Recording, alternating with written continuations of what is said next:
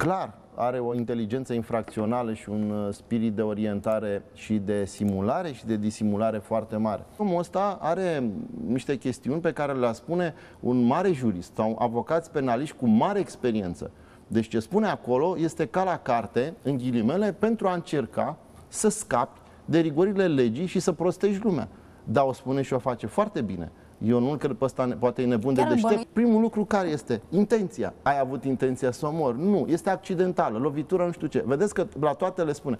Uh, le-ai violat? Păi nu, că ele păreau, m-au incitat, păreau prostituate, au vrut uh, așa, după care știți, au fost și de acord din accident am lovit, ai vrut să... Nu, n-am vrut. Deci totul este pe o lipsă de intenție și de premeditare. Pe când el avea mașina preparată pentru astfel de chestii și vă spun că vom descoperi în mod clar o succesiune incredibilă de victime pe care le-a avut acest individ. El dacă era un furnizor de, de fete, le racola pentru că avea o anumită prestanță, în sensul o anumită vârstă, o anumită în care fetele nu mai erau. De exemplu, dacă venea un, un domnișor din ăsta la vreo 25 de ani tatuat pe ambele brațe în maieu, nu se urcau la el în mașină. Dar venea moșulic, așa, grizonat, cu tare, bon om, urcau. Și înțelegeți?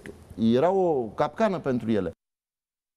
Doamna Cosmina Cerva, avocat, este în legătură telefonică cu noi în momentul acesta. Mulțumesc foarte mult, doamna Cerva. Asta ar însemna că uh, Gheorghe Dincă este extrem de calculat și rece în declarații, dacă își face astfel de calcule. E posibil așa ceva? Bună ziua! Um, eu nu știu acum dacă este atât de calculat, dar ce este sigur, sigur este că cineva l-a învățat, cineva care cunoaște partea asta de bucătărie Corect. internă a infracțiunilor și a pedepselor, l-a învățat cum să-și contureze declarațiile în așa fel încât uh, să fie în avantajul lui. Uh, nu știu dacă acel cineva poate fi chiar polițistul acela vestit cu care a stat el de vorbă înainte să dea faimoasa declarație de recunoaștere, uh, dar ceea ce vă spun și am spus și o voi spune întotdeauna, atâta timp cât organele de cercetare nu sunt în stare să adune probe în dovedirea acestor infracțiuni, acest dosar nu va ține niciodată în instanță pentru o condamnare. Pentru că declarația inculpatului de recunoaștere, fără alte probe, nu face nici doi bani, pentru că el își poate schimba această declarație ori de câte ori dorește. Da, faptul că s-a dovedit că este ADN-ul Alexandrei nu este o probă suficientă în momentul ăsta? Care nu știu, eu deocamdată nu am văzut un raport pe această probă. Uh, eu deocamdată pot considera că acele probe ridicate de la fața locului au fost cumva contaminate pentru că am văzut cu toții în prima zi cine a intrat, cum a intrat, am văzut cu toții că de la momentul la care s-a făcut prima percheziție, cu toate că organele aveau mandat pentru trei zile, nu s-a cerut un nou mandat imediat începând cu a patra zi, iar în primele trei zile nu s-a ridicat nicio probă din domiciliul inculpatului. Pentru noastră nu este suspect acest aspect? Sigur. Adică ridici niște oase dintr-o sobă, dintr-o mizerie de butoi sau ce e ăla acolo, dar nu ridici probe din casa inculpatului, în condițiile în care tu ai un apel telefonic la care un copil îți spune că a fost violat, tu te limitezi să ridici doar probe dintr-o sobă, dintr-o curte, eu nu cred că astfel de greșeli sunt greșeli care, adică voite, pentru că oamenii sunt atât de incompetenți încât nu-și dau seama ce fac. Nu cred. Cred că au fost niște greșeli voite. Și atunci dați-mi voie să mă îndoiesc și de această expertiză și de acest ADN, care până la urmă mi se spune că a fost, a fost găsit în niște dinți, ok, știm și noi destul de mult, că foarte, destul de bine, că foarte multe prostituate care sunt prin țări străine nu prea au dinți în gură. Ne-am întrebat vreodată de ce n-au femeile alea, că le-am văzut mereu pe la televizor. De ce nu ar avea săracele dinți în gură? Adică, haideți să nu mai... Eu vă spun sincer, eu, ca și avocat, eu nu cred filmul uh, reținut până acum de autorități din declarațiile date de acest om.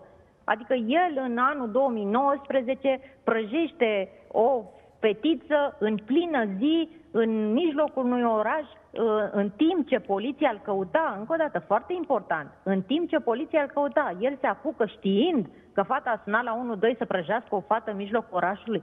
Haideți să fim serioși, că astea sunt povești pe care cred că le, nici copiii nu le cred.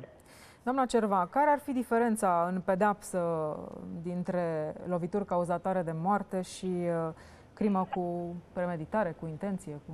Diferența este foarte mare, pentru că, așa cum știți, omorul calificat se poate duce până la pedapsă cu, moarte, cu pe viață, ceea ce nu-i se aplică lui, dar oricum se duce până în 25 de ani.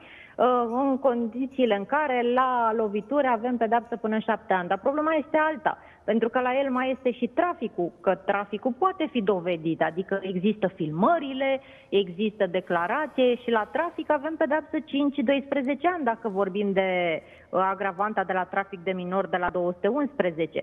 Dacă mai punem și violul, pentru că avem acolo, mă rog, nu știu dacă va putea fi dovedit violul ăla, având în vedere că avem doar acea înregistrare de la 112, mai avem și la viol 5-12 ani încadrare, iar dacă se reține agravanta de la alineatul 4, viol care are ca urmare moartea victimei, avem încadrare de 7-18 ani, adică să tot fie ani acolo, nu de ani ar fi problema, și de probe. Asta este partea dureroasă, că s-au pierdut foarte mult timp, timp în care autoritățile nu au ridicat probe, că este inadmisibil să nu ridici probe din domiciliul unui suspect de viol. Este inadmisibil. Eu așa ceva n-am mai auzit până acum. Este prima dată în viața mea când aud că se uh, cercetează astfel un dosar penal de viol.